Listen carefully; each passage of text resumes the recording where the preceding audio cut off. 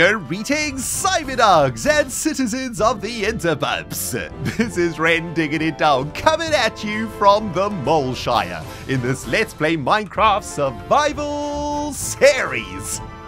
Sorry about that. I think I just jumped on all of your heads. How's everybody out there doing today, man? Hope you guys are having a fantastic day wherever you are on planet Earth right now. I've been spending my morning playing Minecraft Survival and I have been loving it, my friends. Last time we were together, we were working on the entrance into what is slowly becoming a mountain base that we call the Mole Hole. Inside of this giant chamber over here, we're going to be making a beautiful Minecraft base. On the outside, it's called the Moleshire. We've got a storage hole, we've got a mine, we've got some food action going on up there. Slowly but surely, our world is being transformed, and at the moment, I'm focusing on the interior of our mountain base, coming together real good. Last time we were together, we were working on this uh, sort of design that I think is turning out really nicely for the interior of our Molehole Castle. It's looking really good. I've made a few adjustments since we were last together. So I've added this pillar in the center in between the log support beams. So uh, the log support beams have a space of three blocks in between them, and then in between that, we've got a bit of chiseled stone over here uh, that has created another sort of support beam behind there. And that's created a whole bunch of depth inside of the wall, which I like a lot. Very, very happy with this. Today, my friends, we're starting some exciting, exciting stuff. I need to dig out a giant chamber over here in the middle of the mole hole. This is going to become our entrance lobby for our castle. I want to have a really big entrance over here, a giant lobby. I want to make it 21 by 21. I've started mapping out the dimensions over here, and as you can see, man, we have a ridiculous amount of excavation to do.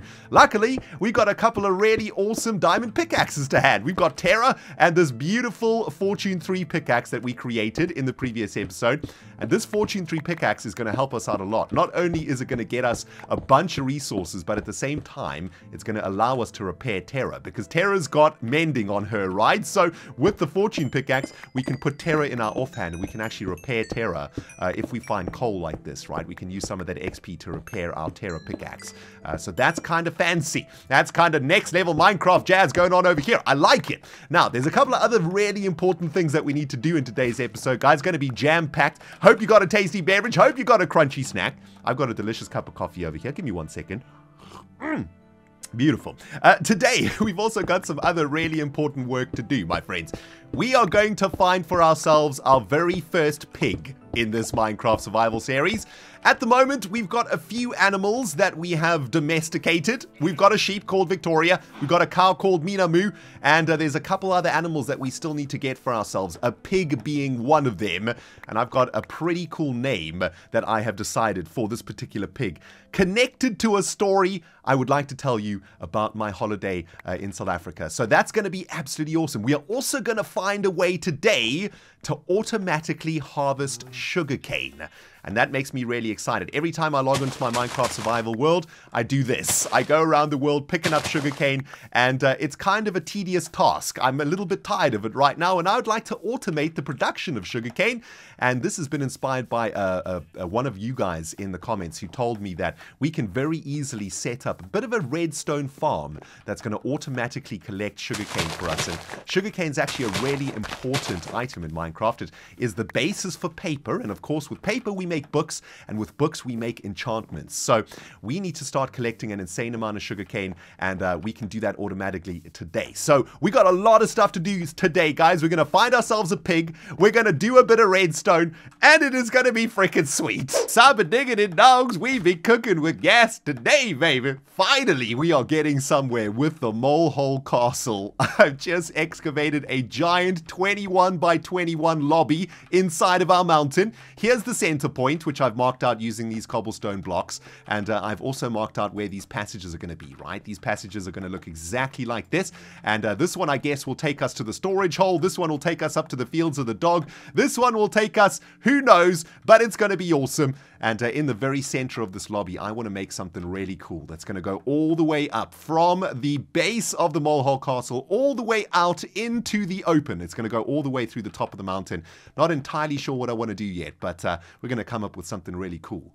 Uh, but yeah, looking pretty good. I've managed to collect a bunch of resources here too uh, from this excavation, which is excellent. But we've got some more important things to do right now than dig holes in Minecraft, my friends.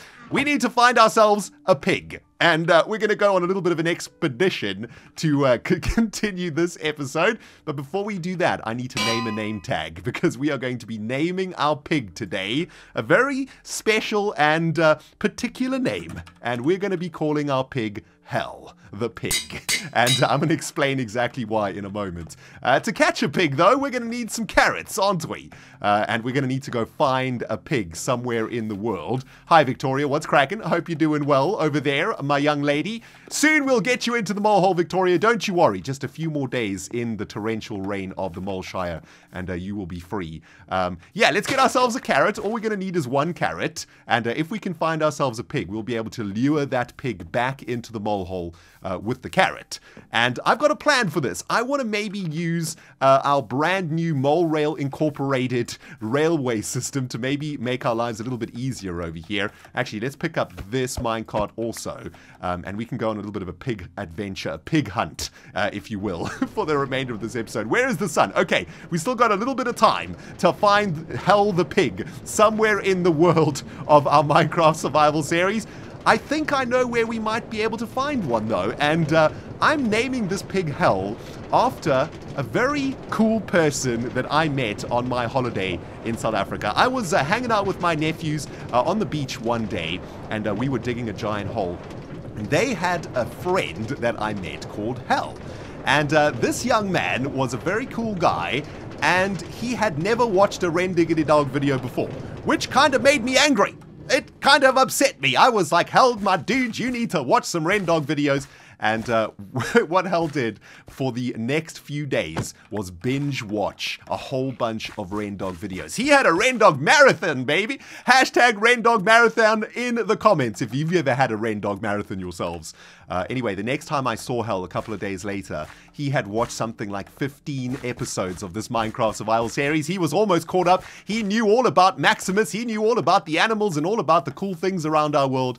And uh, I was talking to him about maybe finding ourselves a pig uh, in the world. And he told me that there is a pig somewhere around spawn. He remembered at some point in one of the videos seeing a pig somewhere in this region over here, which I thought was really, really sweet. And it's one of the things that I love most about being a YouTuber, guys, is being able to meet you guys in the world and uh, talking about the series that we do together and getting really excited about what we do in Minecraft. There it is! There is a pig over here. Nice! There is actually a pig.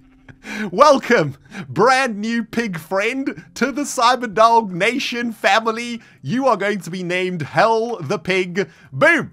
and we're going to get you back into the Moleshire right now. Come with me, Hal. Follow me, my friend. Yep, the sun's going down. We need to we need to hustle a little bit, Hal. Come on, my man. We need to hustle. You need to move your little pig butt. You're not moving fast enough for my liking. We need to get to the railway line as fast as we can.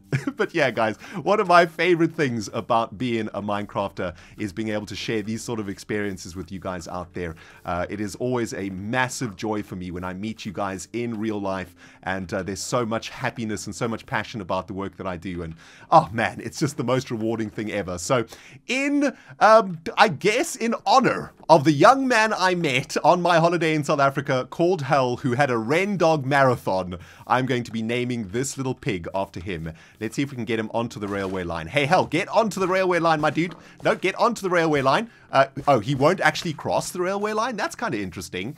Can I get him into a, a, a minecart though? Let's have a look. Get in there. Okay, he's in. Nice. Hal, get yourself back to the mole Moleshire quick, fast, and in a hurry, my little friend. The sun is going down. The undead are coming for you. They want to eat your bacon like nobody's business. Cyber diggity dogs, it's that time in the series once again that we need to prepare our faces for some potential palmage. Because we're about to get technical up in here and do a little bit of redstone magic. It's going to be awesome. Hal is safe and sound in the mole Moleshire, chilling in the minecart. We'll leave him there for now until we find a more suitable place for him to live. But let's get ourselves into the, the mole hole, guys, because we're going to make ourselves a sugarcane farm. And it is going to be 100% automatic and it is going to be really easy to make and uh, really cheap to make too. When I say easy to make, Easy for the Rendog, I guess, but I'm probably going to derp it up at some point, so please do forgive me if there are some technical errors in the next 10 minutes or so. Let's start off with a little bit of an infinite water source over here. I prepared a little hole in the side of this mountain where we're going to be installing our sugarcane farm, and uh, we're going to be using the mechanics of sugarcane to actually create an automatic sugarcane farm. If we can get this done, it is going to be awesome. Now, we know that sugarcane has to grow on sand, and on top of that, it has to have some water next to it, right? So we got to remember that. That's where we're going to be starting, right there, with the water and the, the sand and the sugarcane. And of course, the way that sugarcane works is that every now and then it grows a little bit taller. And it grows a little bit taller, and in fact, it, it can grow up to four blocks high, I think, uh, before it stops growing. Now, we need to find a way to automatically harvest this sugarcane when it grows. And the good news is that in Minecraft, we have got a very interesting little redstone block called an observer. And to make an observer, we need some cobblestone, some redstone, and some nether quartz. I've just been to the nether to get ourselves a, a little bit more quartz. We're going to make ourselves an observer block. We're also going to make ourselves a sticky piston, or a, a piston rather, uh, which actually isn't here at the moment, which is kind of strange. It should be here. Uh, but a piston we make like a so, I believe, with a little bit of iron, a little bit of redstone. Is it the other way around? I think think, yeah, there we go. We're going to make ourselves a piston, and we're also going to make ourselves a couple of hoppers over here. So let's get a couple of hoppers in the belly too. Uh, there is the recipe for hoppers. I think we'll probably need one or two of those. There we go. And we're also actually going to need uh, some rails also, which I completely forgot to get. Was so prepared for this in my mind, but apparently I've completely derped up. So let's head back into the storage hole, get ourselves a rail, and uh, then we can start working on the sugarcane farm. Uh, now, this particular farm has been inspired by the comments of one of you guys. Do I not have any rails? Oh my goodness, we have no rails at the moment. Uh, we've used them all for the uh, the Mole Rail Incorporated, haven't we? yeah, let's just make ourselves 16 rails over here. Uh, but yeah, this particular farm has been inspired by one of you guys. I read a comment saying that Ren, you can actually make some really cheap farms in your world that'll automatically harvest sugarcane and automatically harvest cactuses also. Uh, and we'll be working on a cactus farm at some point too. And I thought maybe what we could do is we could incorporate this beautiful, uh, very compact little sugarcane farm into our build, right? So what I'm thinking is we're going to have a sugarcane farm in each of these positions that I've marked out in the very central lobby uh, of the, the Molehole Castle. And of course, sugarcane is only going to grow if we are loading the chunk, right? So as we're going to be spending a ridiculous amount of time in the mole hole, this is going to be the perfect place to actually grow sugarcane. And if we have, what, two, four, six, eight little sugarcane farms going, we're going to generate a ridiculous amount of sugarcane over time. So that's kind of exciting. Now, we're going to need to do a little bit of work over here, though, to get this thing set up. We're going to start off by making a way to actually grow this sugarcane, right? So to kick things off, let's get ourselves ourselves a little bit of water over here. And let's find a way to get this sugarcane growing. I kind of want the uh, outside of this little sugarcane farm to be on this line over here, which is going to be the wall of our lobby. So let's use polished andesite for this, because I like the way that polished andesite looks. I think that looks kind of cool. It's going to suit our build quite nicely. Uh, but this is kind of where we want the sugarcane to be growing. We want the sugarcane to be growing in this block over here, right? So that's where we're going to be plonking the sand. Beautiful. Let's get the sugarcane down there. Uh, that's going to be... Oh yeah, we need some water though, don't we? Okay, so let's get a bit of a water source behind that sand, and that's going to start growing some sugarcane. Beautiful. Now, we're going to find a way to grow the sugarcane and then break this sugarcane, but we're going to have to collect this sugarcane automatically, right? And we're going to be doing that using a hopper minecart. And uh, we're going to make a hopper minecart with, of course, a minecart and a hopper. But we're going to have to find a fairly clever way to collect this sugarcane. Let's just get rid of this water source. And what we're going to do, actually, is we're going to set up a hopper minecart underneath the sand. So when that sugarcane lands on the sand block, it's going to be collected by the hopper minecart. So let's get a bit of a rail down there, and that should allow us to actually put the sand on top of the rail like a so. That looks pretty good. And then what we can do is we can stick the minecart with the hopper on that rail underneath it. And check this out, right? If a bit of sand lands on, or if a bit of sugarcane rather lands on the sand, that hopper minecart's going to suck it up, right? Beautiful. Now, how do we get the sugarcane out of the hopper minecart? Well, we're going to use uh, some hoppers to suck the items out of the hopper minecart. So let's use a couple of hoppers and let's get a chest here also. Let's get a chest ready. Um, I guess what we're going to have to do at some point is find a way to filter all of the sugarcane into the storage hole. Maybe what we can do is we can drop the sugarcane into an aqueduct that will then send the sugarcane into that other aqueduct that we made uh, and into the item elevator in the storage hole. But we can figure that out at some other point. What we're going to do here, though, is stick a couple of hoppers going into this chest and uh, into that hopper minecart. Now, what should happen, theoretically, is if sugarcane drops on this sand, it's going to get sucked up by the hopper minecart and then sucked up by these item hoppers, and it should be ending in this chest, which it currently isn't. So I've actually done this completely wrong. Hang on. I know what I've done wrong over here, right? What we need to do is we need to lower all of this stuff down by one. I told you there'd be some face palming, guys. That's first face palm of this technical part of the episode. There we go. Face palm has been applied. Let's go one block down then get all of the hoppers set up again. What we're going to do is we're going to set up that rail on top of a hopper, right? So we're going to have three hoppers here. That hopper's going to go in there. And this is where we're going to be setting up the railway line on top of that hopper, right?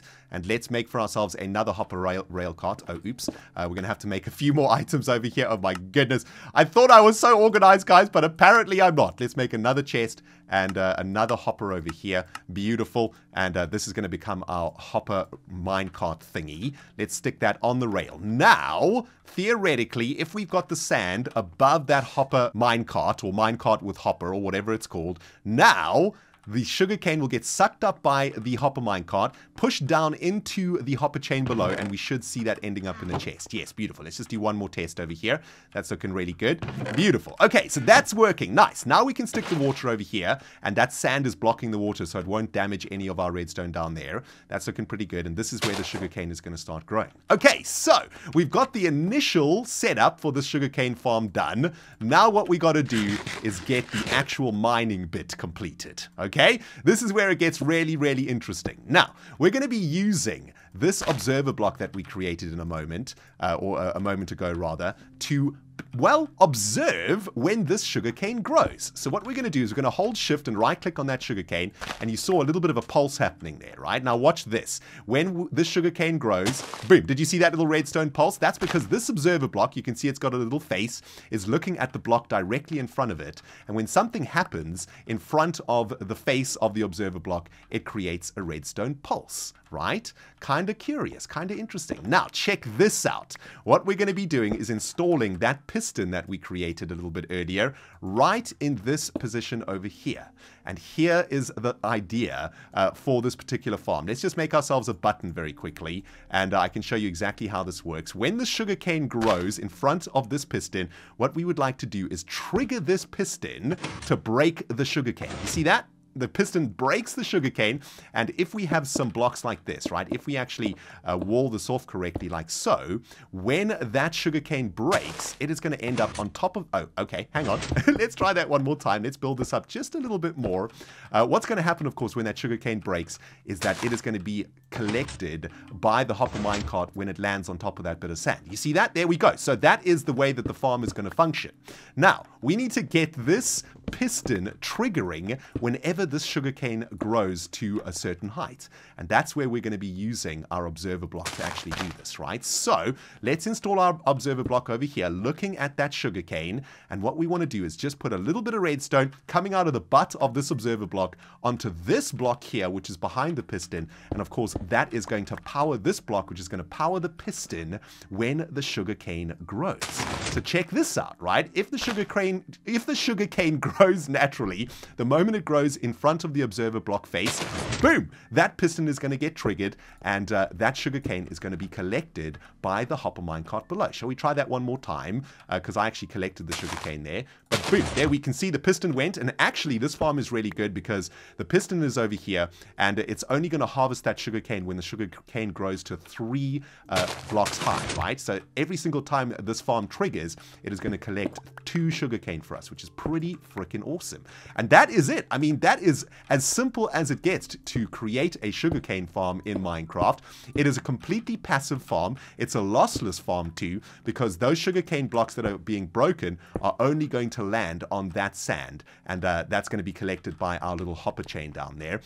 I guess what we would like to do though is actually see this happening, right? We want to see it going down because I think it looks kind of cool. So maybe what we can do is just add a little bit of, hmm, maybe we can use iron fences for this. That could be pretty cool. Yeah, or iron bars rather. Yeah, let's make some iron bars like this and to try and keep in the same sort of design style as the Molehole Castle. Let's put some iron bars in there. That looks kind of cool. So now that sugarcane is now going to grow naturally and whenever it gets to three blocks high, the observer block is going to see that, trigger the piston and collect two uh, sugar canes for us in our farm. And what we can then do, of course, is find a way to get all of those sugar canes into the storage hole at some point. And of course, what we need to do now is set up another eight of these bad boys all the way around the lobby of the mole hole. And over the next 100 hours while we are here playing Minecraft Survival, we will be automatically harvesting sugarcane. And that, my friends, is super freaking awesome. And we only had one major face palm for this particular technical build. So that makes me a super happy rendigging dog, baby.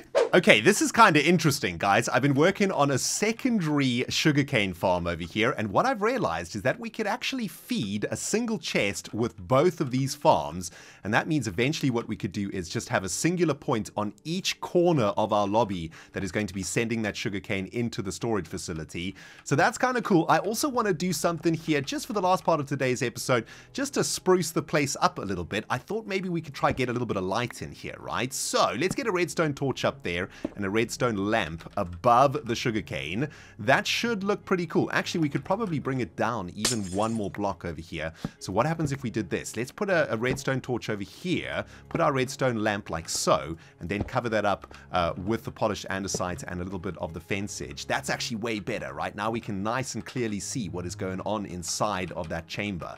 Very, very nice. Let's do exactly the same over here. So let's get a redstone torch and a redstone lamp up in this business like a so. There we go. Uh, and this is not quite working the way that I wanted to. There we go. So we've reset the farm now. Uh, that should start automatically harvesting now. And uh, let's get polished andesite up there and a few of these bars in front. Looking really good. And now we've got two working sugarcane farms that are going to be feeding this chest over here while we are in the Molehole Castle loading this particular chunk. We can cover all of that up and know in our hearts that these two things are now working. Well, hopefully that they're working. I'm pretty sure I've set them up correctly. Uh, anyway, that's about all the time that I have for today, guys. I'm probably going to spend a bit of time setting up the remaining six of these sugarcane farms in this lobby. And next episode, we can start working a little bit more on the interior of the mole hole. But I hope you have enjoyed this technical episode. I hope you learned something. How to make a nice, super cheap, super easy, face palmless sugarcane farm. If you don't face palm like me, though, of course. You should be able to get it done quite easily. And the most expensive item in the whole farm is a bit of nether quartz. So that's kind of awesome. Thank you guys so much for watching. Mad love love to Hal the Pig, who has just joined the Cyberdog Nation. My friends, if you enjoyed it, you know what to do. You smackety smack that like freaking button. If you haven't subscribed yet, well, you hit that freaking subscribe button. Rendiggity Dog signing out. We'll smell you all in the next episode.